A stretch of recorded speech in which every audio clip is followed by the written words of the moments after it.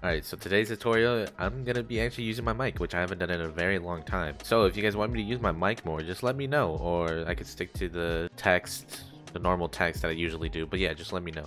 Honestly, the only reason I'm doing this is because I got a new mic, and I think it sounds way better than my last one. So anyway, today's tutorial is gonna be about my render settings, which is something that I've always been asked about, but it's something I'm always switching, so I never really fully fully answer it into detail. So i told myself it's kind of better just to show you guys what i have and what my settings are because i think i found the best settings for me and that worked for me in my edits. And the reason i say that is because sometimes if you use like other people render settings they just don't work the same. I don't know why it's so weird but that's just what i found. So here's mine. I have a preset named soccer preset settings have it pop up here in my settings. Obviously it's going to look a little bit different when you have an actual video here. So my format is h.264 which is the norm you know? You're not using h.264 uh, then i don't know what you're doing. Other than that the only things i really change are my frame rate. So the standard frame rate and resolution i edit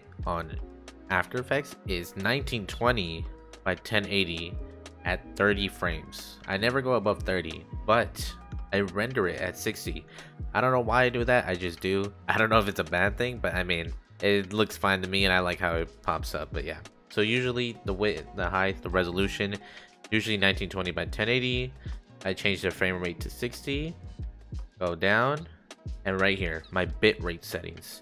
Now, I know a lot of people use uh, VBR, I think one pass or two pass. I've used one pass before, and the reason I don't like it is because it's basically rendering your video twice. So right now, it like so I have it at 6 and my target bitrate at 6 and my maximum at 15. So it's gonna render it at 6. Like that's like, oh, like my software is saying like, oh, that's what I need to get to, so I'm gonna get to that and if I can get to that I'm gonna shoot for 15 so it's kind of like doing it twice which kind of takes more time which I don't like. So I started using CBR and my usual sweating it used to be 10 and then I bumped it to 12 and now I've just stuck to 15 now I don't know if it's a huge difference from 10 or 12 it probably is a huge difference from 10 but from 12 I don't know. I just decided to do it and it just I just stuck with it. So yeah I use 15 and that's literally that's it. The only other thing i do is click.